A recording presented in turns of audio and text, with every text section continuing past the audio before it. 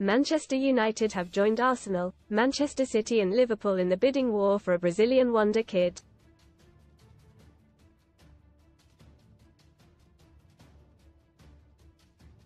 According to the Mail, United sent a scout to Brazil to watch Grêmio starlet Gustavo Nunes, 18, in action last week during the 2-0 loss to Huachipato in the Copa Libertadores.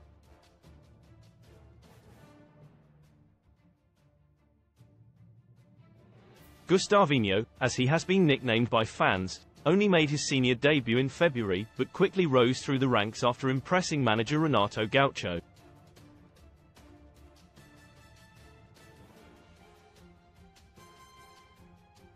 The winger came on as a half-time substitute as he replaced Everton and showed his skills in front of the Red Devils representative.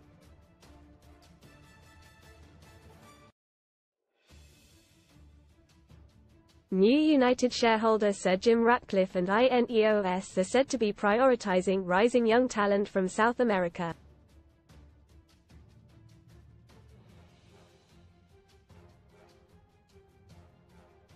That is because the Manchester Giants want to get more value for their money amid financial fair play restrictions.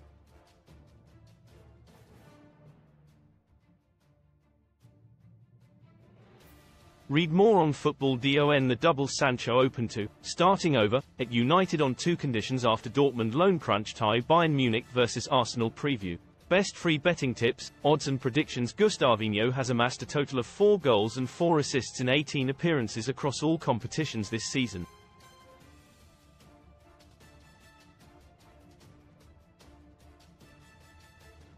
The forward's immediate impact attracted attention from City, Arsenal and Liverpool.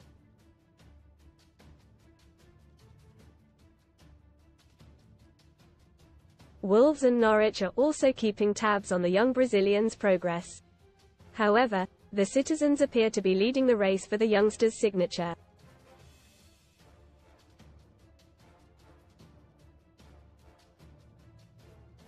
Most read in Football City 1 Real 1, AGG 4 to 4, 3 to 4 pens, Bellingham County stun holders with dramatic shootout win City 1 Madrid 1, AGG 4 to 4, City out of Champions League after Rudiger wins it on PENALTIESMUNI talks Arsenal fans fume Champions League's rigged after ref gaffe in Bayern loss is she sad. I bet Laura Woods is P asterisk asterisk head off. Safe fans as TNT Sports reveals CL lineup casino special. Best casino welcome offers nevertheless, Grêmio are not keen to part ways with their wonder kid just yet.